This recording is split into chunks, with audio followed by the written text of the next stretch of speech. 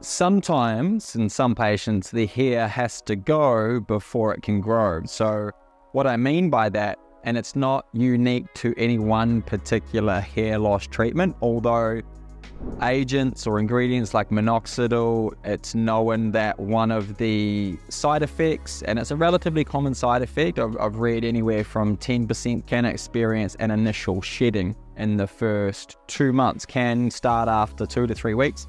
But in the first couple of months, especially, what people can experience is like more shedding than what they're used to. And it freaks the heck out of people because it's like going on a weight loss program and going and gaining 20 kilos before you lose 30. So it's a really negatively reinforcing component of hair loss programs. But what's really important is to understand why it happens, to understand that for a significant amount of people, it's actually a positive thing, and to understand that the rainbow is on the other side of the storm. So we'll start at why it happens. So it happens because of your hair fibers are at a slightly different point or a slightly different stage of the hair growth cycle. So to simplify it, you have three different stages of the hair growth cycle. You've got the anagen phase, which is the growth phase. You've got the catagen phase, which is where your hair just starts to transition into the shedding phase. So it becomes dormant. It just sits there. It's in this transient sort of stage of going from growing to not growing. And then you've got the telogen phase, which is the phase where it's going to then actively start shedding.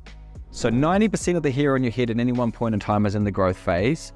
About 5% of the hair on your head is in the catagen phase, and about 5% of the hair on your head is in the telogen phase. The thing is, is that your hair doesn't all grow and fall out at the same time. Otherwise, every two to six years, you'd go bald and then you'd grow it all back again. So it's desynchronous. So it's all growing and shedding at different times. And what is normal for an individual is to shed anywhere from, depends on what resource you read, anywhere from 100 to 200 hairs a day. So you can constantly be shedding that number of hairs every day anyway. What happens when you start a hair loss, either a hair loss drug or a hair loss program, those hairs that are all in that telogen phase that might, you know, eject themselves in the next weeks, months, they all prematurely get knocked out or pushed off the head at a very similar time. So what it's what occurs for the individual is they feel like they are now losing hair. So why it happens is yeah, the it's the positive impact of the ingredients or the treatment that you're using, or both, actually pushing those hairs that are no longer serving you off the head. So, hairs that are thicker and healthier and will look better actually have the opportunity to grow through in place of those hairs that were thinner and uh, were did, and did not look as healthy.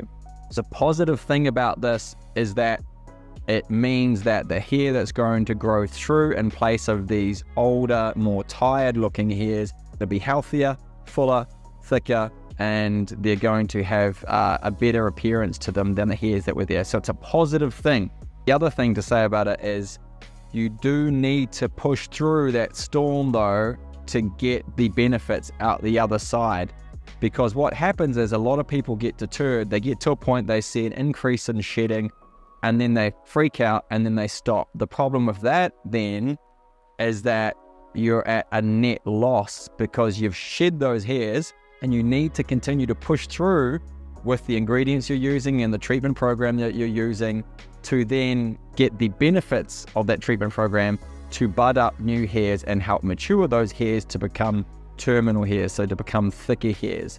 So you need to push through. So when you get to that period of like, oh, I feel like I'm noticing more loss, so important that you push through that period because the gains will be on the other side of the pains, if you like.